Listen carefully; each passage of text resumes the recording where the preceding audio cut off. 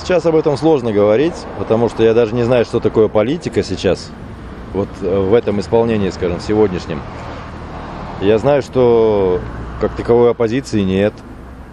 Во всяком случае, в том понимании, в котором она была, ну вот в то время, когда я этим занимался. Сейчас очень сложно об этом сказать, чем я буду именно заниматься. Э, для этого нужно оглядеться. Для этого нужно посмотреть, кто есть и кто есть кто. То есть очень много следует познать сейчас заново. Я даже Алмату не узнаю.